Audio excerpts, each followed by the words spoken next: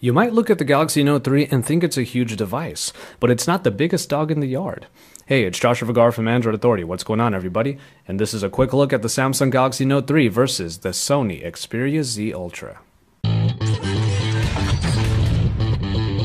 As you can plainly see here in this image, the Sony Xperia Z Ultra actually somewhat dwarfs the Note 3 and is closer to the tablet form factor.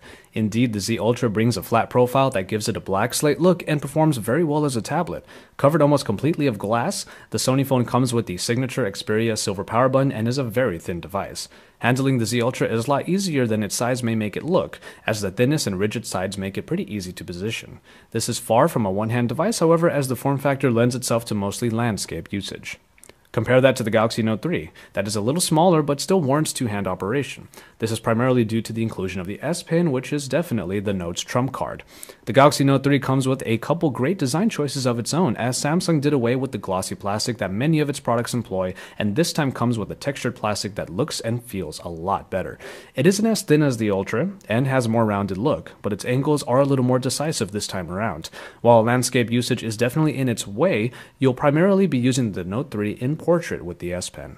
It's in the screens that both of these phones get their larger sizes. The Note 3 has gotten a 0.2 inch increase from its predecessor due to slimmer bezels. Its Super AMOLED display is a lot like the Galaxy S4 screen that brought great saturation and colors, only bigger.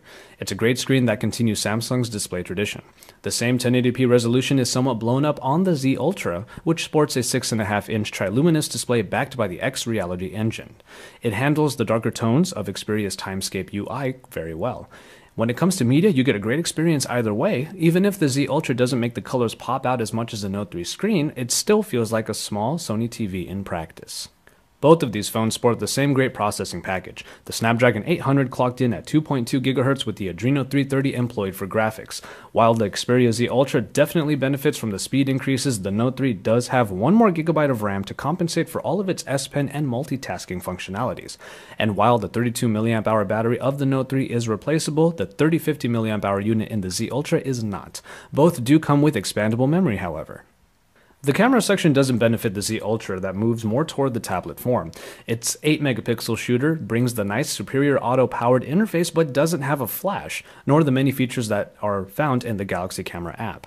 The 13 megapixel shooter on the Note 3 is capable of a ton of different creative photography modes and should sport the same great quality as the shooter in the Galaxy S4.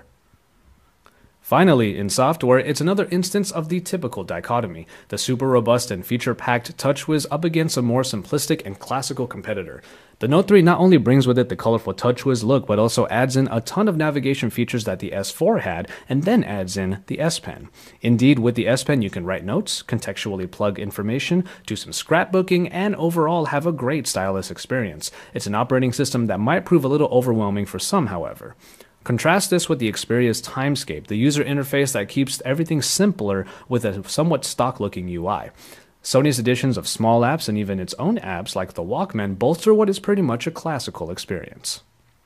And so, there you have it. Two of the biggest players in the game, and while one might focus on a kind of personal assistant experience, the other is definitely one of the best big screens available for media.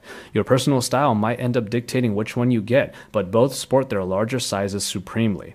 IFA is winding down, but stay tuned to Android Authority because we're your source for all things Android.